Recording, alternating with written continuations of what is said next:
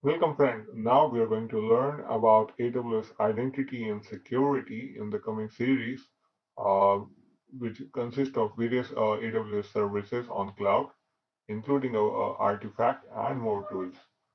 So these are the identity and security tools or services available on uh, AWS cloud, uh, using which you could secure your everything cloud instances, be it from uh, mobile services or web services, uh, Elastic Beanstalk or EC2 instances, uh, S3 storage, or things like that.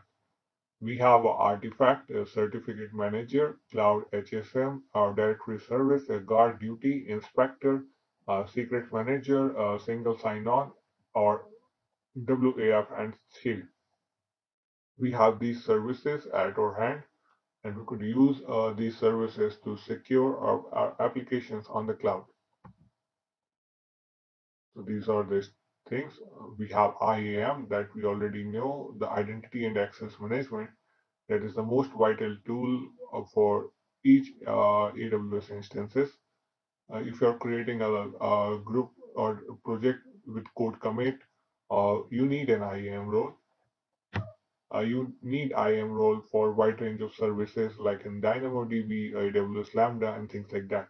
It will authenticate various users where you could create your identity uh, and different kind of roles. Similarly, there are various services that go hand in hand for same authentication, authorization, and security perspective. So let's start with uh, AWS Artifact which is a no-cost self-service portal for on-demand access to AWS compliance reports. Here you have access to the reports that you could uh, create on demand for self-service uh, for analyzing various perspectives of your services that are running there. Uh, you can generate a central resource for compliance related information that matters to you. Uh, Artifact provides you on-demand access to security and compliance reports and select online agreements uh, with AWS. The reports available on Artifact uh, include your service uh, uh, organization control reports, uh, payment card industry reports, and certifications from accreditation bodies across geographies and compliance verticals that validate the implementation and operating effectiveness of AWS security controls. Uh, agreements available on uh, Artifact includes business associate addendum, and a non-disclosure agreement, the NDA. You have the uh, artifact directly from the management console. Here you can view different kinds of reports or documents. It provides a customer with uh, easier access to obtain uh, different reports uh, as well, uh, based on different kinds of government or regulatory authority, authorities of integrations and regulations. Uh, there are few benefits of Artifact. Uh, it provides you comprehensive resource on different auditors, the issued reports, the certifications, accreditations, and other third-party attestations that you need for your uh, publication of your instance or applications or projects on the cloud. You have the agreement governance to review, accept, and manage your agreements with AWS can apply your AWS agreements to current and future accounts with your organizations. So you could uh, be in a safe state, uh, be it an NDA, non-disclosure agreement, and things like that. You could create uh, those agreements or sign up on the existing ag agreements anytime you want. Then you have deep insights to perform uh, diligence of AWS and enhance this transparency for security and controlled environment. You can monitor and secure the appliances uh, with AWS with immediate access to new reports. There are different reports out there uh, which have been tested by auditors or third parties for compliance of global, regional, and industry specific security standards that you need to follow for deployment of certain instances or certain uh, projects. Uh, so it is very simple to uh, build a report on AWS Artifact.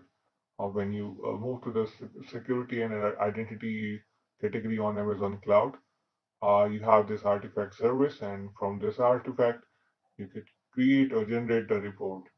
Uh, moving to the report section, you can generate the artifact of particular uh, things like uh, Cloud Computing Compliance Control Catalog, C5.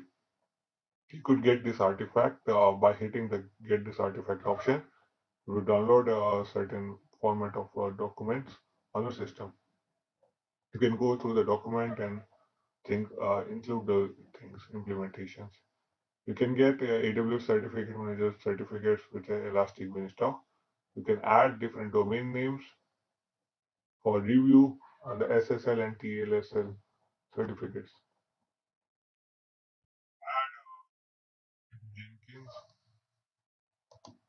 Or artifact repositories to build and upload on the sections. You have the artifact repository, the EC2 environment. Uh, you can build and upload the Jenkins with the artifact using a simple uh, XML type syntax. Uh, then you have the EC2, the production server, staging and test server that you could select version and deploy on the test servers.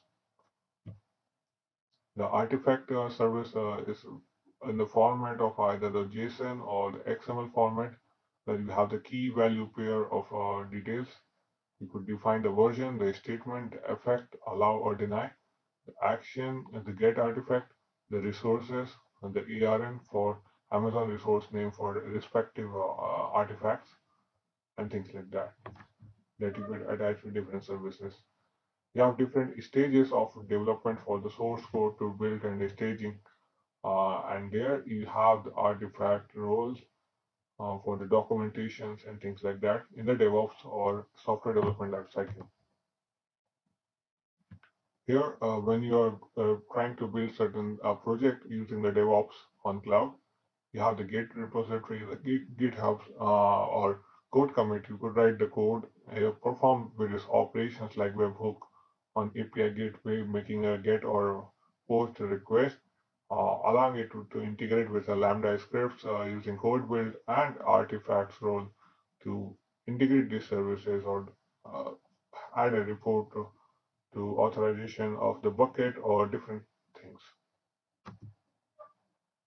So this was a brief introduction about the artifact.